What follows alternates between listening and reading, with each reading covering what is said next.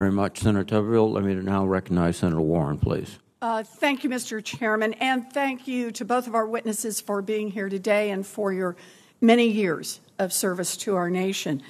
The RAND Corporation, a nonpartisan research organization that studies national security issues, recently published a report that found a number of pitfalls in the way that our military prevents, investigates, and responds to reports of civilian harm, including, and I want to read from the report DoD is not adequately organized, trained, or equipped to fulfill its current responsibilities for addressing civilian harm. End quote.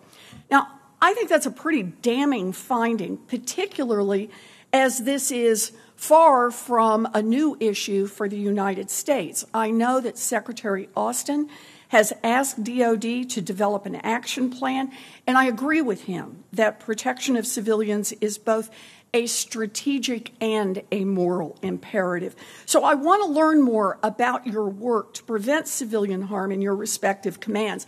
General Townsend, if I can, I'll start with you on this. AFRICOM provides a quarterly report updating the public on the status of all reports of civilian casualties, and it issued one just late last week.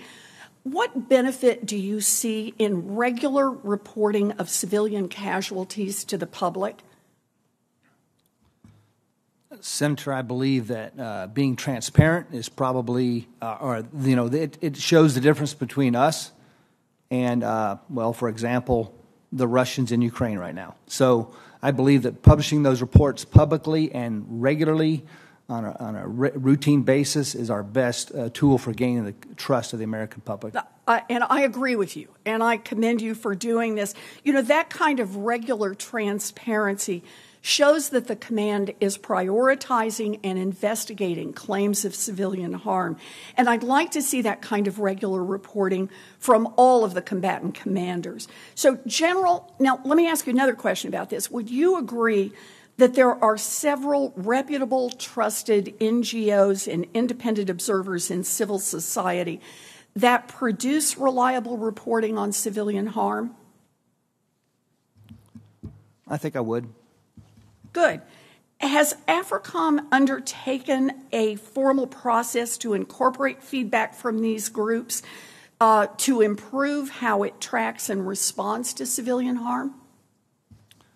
Yes, Senator. We take their feedback with every report they make. Well, that's important, and I think. Eh, but let me ask you: Do you have a formal process for doing this, or are you just kind of integrated as you go along?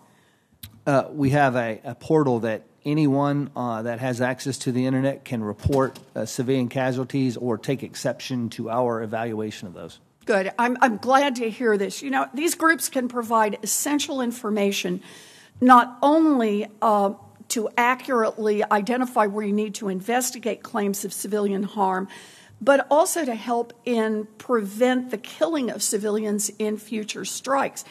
Uh, RAND's report recommended that DoD engage with outside groups more, and I'm I'm glad to see you doing this, General McKenzie. If I can, let me let me talk with you a minute here.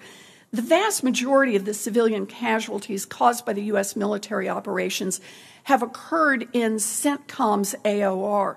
Not only that, but reporting from the New York Times found major instances of civilian harm in Syria that had been covered up. Does CENTCOM have an established process for incorporating feedback from trusted civil society groups to improve the ways that it prevents and responds to instances of civilian harm? Senator, it, we did, and it was not as robust, as straightforward a program as it should have been. In the wake of the RAND report and other reports, we've taken 10 discrete actions that are designed all to more formalize and provide additional oversight on the possibility of civilian casualties. Uh, good. I'm very glad to hear that, General, because given their expertise, I think we have a lot to learn from these groups and it can help improve processes. It's long past time that the United States took seriously the impact of the way that it treats civilian harm. And I'm glad that Secretary Austin is addressing this. But meaningful change is going to take buy in from the two of you, from your successors, and from the rest of the DoD leadership.